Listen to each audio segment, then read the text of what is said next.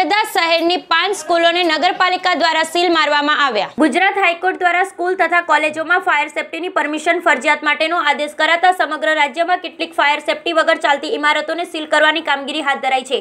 તેવામાં ધાંગ્રધા નગરપાલિકા દ્વારા પણ ધાંગ્રધા શહેરની કેટલીક ફાયર સેફટી વગર ચાલતી ઇમારતો સામે કડક કાર્યવાહી હાથ ધરાઈ છે. જેમાં ધાંગ્રધા શહેરની પાંચ સરકારી સ્કૂલોને ફાયર સેફટી નહીં હોવાને લીધે નગરપાલિકા દ્વારા અગાઉ નોટિસ ફટકારાઈ હતી. પરંતુ નોટિસને ગંભીરતાની નહીં લેતા શહેરની હાઈસ્કૂલ, આઈટીઆઈ સહિત ત્રણ પ્રાથમિક સ્કૂલોને નગરપાલિકા દ્વારા સીલ કરવાની કામગીરી શરૂ કરાઈ હતી. જેમાં ધાંગ્રધા શહેરની સર અજીતસિંહ હાઈસ્કૂલ, આઈટીઆઈ પ્રાથમિક શાળા નંબર ત્રણ, પાંચ તથા બારની ઇમારતને ફાયર સેફટી વગર સીલ કરાઈ હતી. Bureau report Hitesh Raj. રાજ્ય અગ્નિ નિવારણ અને જીવન સુરક્ષા અધિનિયમ બે અંતર્ગત જે સ્કૂલ અને હોસ્પિટલો તેમજ શૈક્ષણિક સંસ્થાઓ દ્વારા એનઓસી લેવા, ફાયર એનઓસી લેવાની પ્રક્રિયા જે કરવાની હોય તે અંતર્ગત કશું જ કામગીરી કરવામાં આવેલ નથી તેવી ધાંગધ્રા નગરપાલિકા વિસ્તારની આજે ચાર સ્કૂલોને સીલ મારવાની પ્રક્રિયા હાથ ધરેલ છે, જે અંતર્ગત એડમિનિસ્ટ્રેટિવ બ્રાન્ચ અને પ્રિન્સિપાલ ઓફિસને સીલ કરવામાં આવે છે. ખાસ કરીને સાહેબ, આ જે સ્કૂલો છે તેને સીલ કરવાનું કારણ શું છે?